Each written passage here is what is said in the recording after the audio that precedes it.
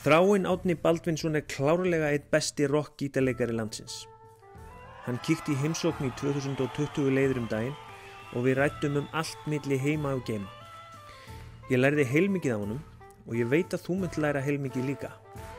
Og ég get ekki beðið eftir að lefa þær að heyra allt viðtalið á förstu daginn langa.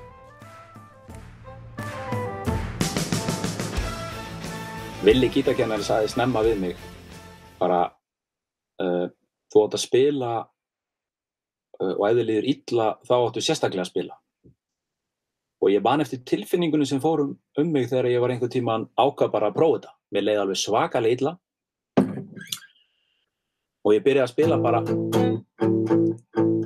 Okay.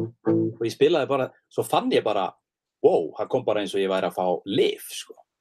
það er eitt af veist, ég í alvörunni pantaði pizza á föstu degi hún kláraðist á miðugudegi og ég var pínu svangur á fymtudegi og svo pantaði ég pizza á föstu degi skilu. þetta var basically þannig að því að peningur sem mamma og pappi sendu þú veist, jú, ég kefti skýr og átti í skápni með eitthvað en þú veist, ég reyti bara nurla sama pening til þess að geta keft plötu eða eitthvað skilur Nákvæmlega. til þess að læra eitthvað nýtt sko. Já, já, akkurat. þetta er glórulust sko. akkurat. en Willi, gítarkennari, hann sagði við mig þegar ég byrjaði þú mátt aldrei vera þú mátt aldrei fara í samkeppni þráin við aðra gítarleika, þú, þú veist að því hafaði hann í gamla dag að upplifa það að menn væri svona, ég, einu þessi er ekki, ég ætla ekki hann er drasl sko, eða eitthvað svo Já. einhver svona astnali keppni. Og hann sagði bara, þú getur lært af öllum. Þú getur lært af hérna hvort sem hann er nýbyrjar að spila gítar eða búin að spila í 30 ár. Það er alltaf einhver sem að gerir eitthvað sem þú getur lært af.